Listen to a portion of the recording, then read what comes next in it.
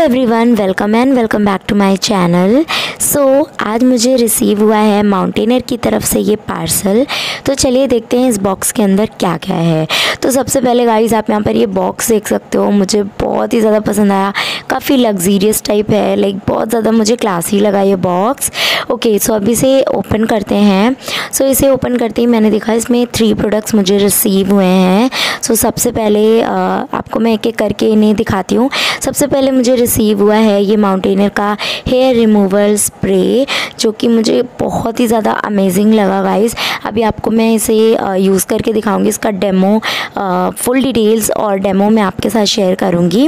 काफ़ी अच्छा लगा मुझे काफ़ी ट्रैवल फ्रेंडली आप कहीं पर भी जा रहे हो ना तो उसे आराम से कैरी कर सकते हो. ये कुछ इस तरीके से पैकिंग वगैरह की आती है और काफ़ी ज़्यादा मुझे पसंद आई है. सो so, फ़र्स्ट मुझे ये रिसीव हुआ है एंड सेकेंड मुझे रिसीव हुआ है माउंटेनियर का L glutathione get glow with radiant skin ये कुछ इस तरीके का दिखता है इसकी आउटर पैकेजिंग अभी आपको मैं इसकी इनर पैकेजिंग भी दिखाऊँगी।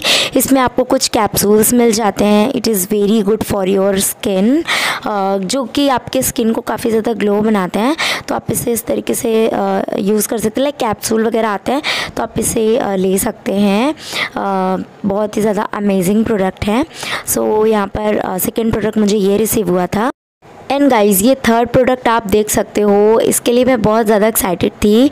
आ, ये है एक्टिव पैच आ, जो कि पिंपल्स को कवर करते हैं। तो अगर बहुत ज़्यादा पिंपल्स होते हैं आपको तो डेफ़िनेटली आप इसे ट्राई कर सकते हो। मैंने बहुत सारे लोगों के वीडियोस देखे हैं इस पर बट आज मैं भी इसे ट्राई करूँगी। बहुत ज़्यादा अमेजिंग लगे मुझे ये। सो so, इन्हें मैं ट्राई करूँगी। मैं बहुत ज़्यादा एक्साइटेड हूँ इनके लिए। सो so, अभी मैं आपको दिखाती हूँ।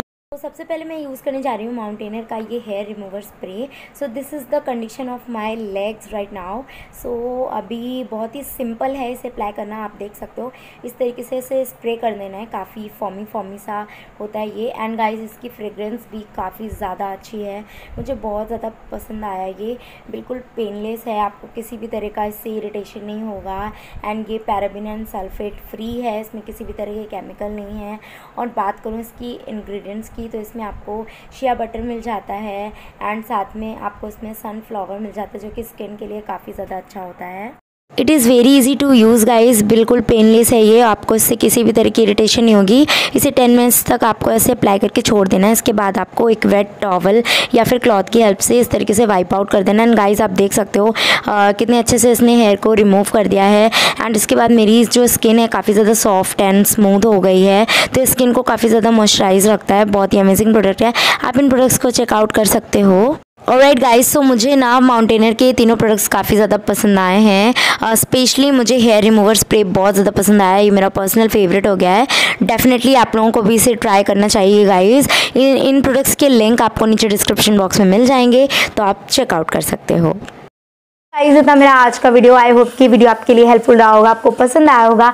अगर ये वीडियो आपके लिए हेल्पफुल रही हो तो आपको करना है इस वीडियो को लाइक एंड शेयर एंड करना है मेरे चैनल को सब्सक्राइब तो मिलते हैं अपने नेक्स्ट वीडियो में, तब तक के लिए bye bye thanks for watching